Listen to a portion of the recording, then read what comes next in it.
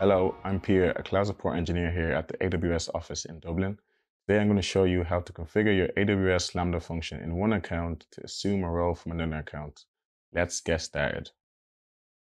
Log into the AWS Management Console using the account where the role to be assumed resides.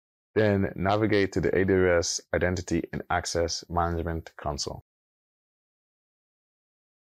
Search for the role that you want to assume.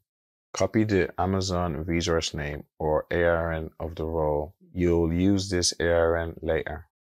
Now log in to the AWS account that has the Lambda function that you want to use. Then navigate to the IAM console. Find the IAM role that's configured as the execution role of the Lambda function. Choose Add Permissions and select Create Inline Policy from the drop-down list then select the JSON tab. Add this policy into the editor. Make sure that you replace the resource with the ARN of the IAM role that you have copied from the other account. Choose Next. Enter a name for the policy and then choose Create Policy. Copy the ARN of the execution role. You'll use this ARN later.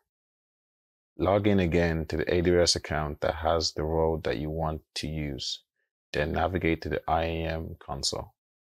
Search for the role that you want to assume. Choose the Trust Relationships tab and then choose Edit Trust Policy. Update the trust relationship with this policy. Make sure that you replace the ARN under principal so that it matches the execution role of the Lambda function that you copied. This setup is now complete. To test our setup, let's update the Lambda function code so that it uses the AWS security token service to fetch temporary credentials for the role that we just configured in the other account.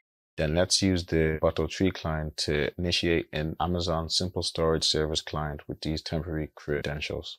To do this, let's go to the Lambda console and then let's select our Lambda function.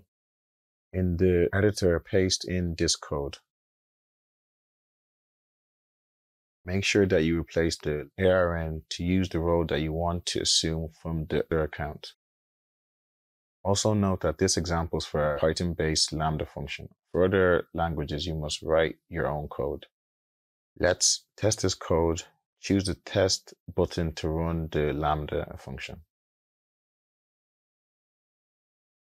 Because this test ran successfully, we can see that the Lambda function was able to assume the role from the other account. In this example, you can use the client object to perform operations on the Amazon Simple Storage Service bucket of the account. With these changes, we updated the Lambda function execution role a uh, policy to assume the role from another account. At the same time, we allowed the IAM role in the other account to be assumed by the Lambda execution role. So now you know how to configure your Lambda function in one account to assume a role from another account. Thanks for watching and happy cloud computing from all of us here at AWS.